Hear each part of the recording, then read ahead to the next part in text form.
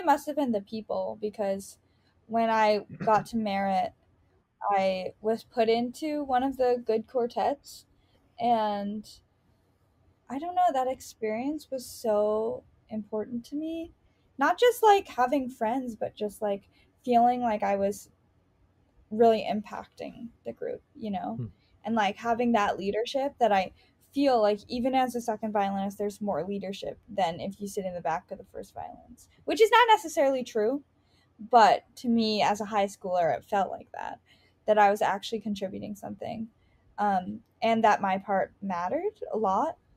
So that was um, yeah, very formative for me just like the experience of playing in chamber music